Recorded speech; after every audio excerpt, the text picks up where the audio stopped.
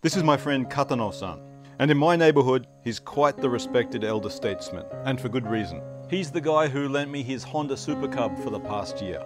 Okay, I'm hanging, heading out with uh, Katano-san today. He's uh, told me that there's a some kind of coloured pond or something that he wants to see, but he needs my drone to see it, so um, I'm going down to check it out.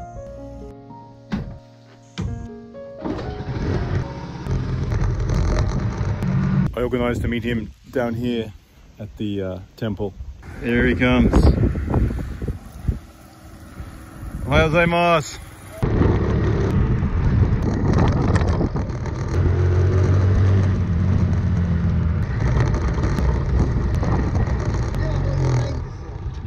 水はない。ああ、そうですか。ここですか。そうですね。ここから昔ですね。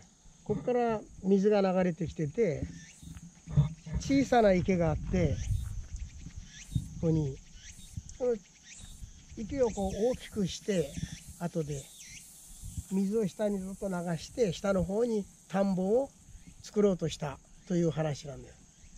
だけどそれはもう完全にはうまくいかなくて、えー終わってるんですけどただ今五色の池5つの色の池っていう名前があってなぜか僕には分からなくて調べたいんだけど何かこう5つの色があったんでしょうねいろんな。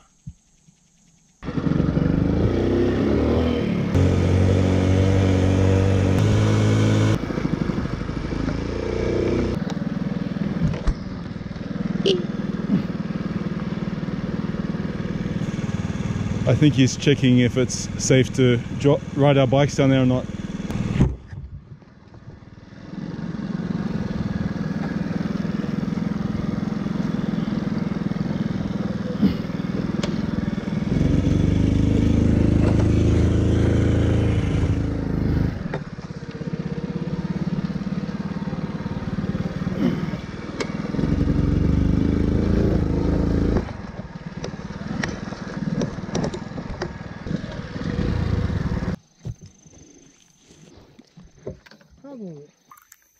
いただきます。はいどうぞ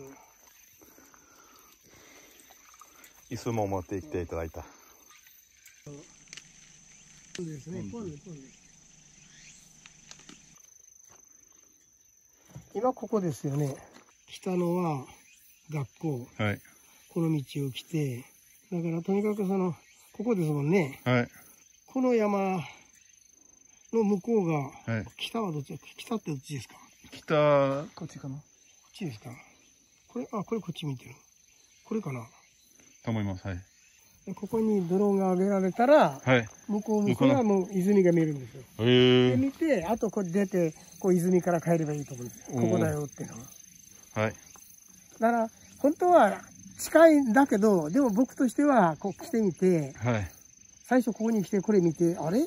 と思ったんですね。はいはい。森山より泉が出てるからあ不うん。思議だなと思ったんですね。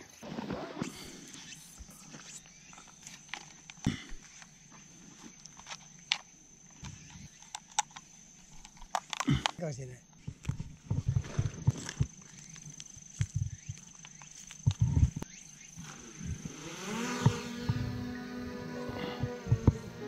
Because there was no water in the five color pond, Katano-san wanted to take the opportunity to see how close we were to the little village of Izumi.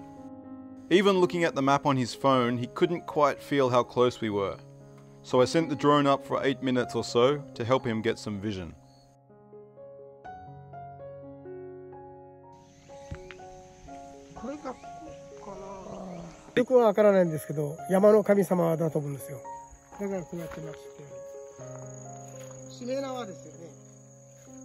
しめ縄お正月にはよく飾るんですけどここにしてあるんですね。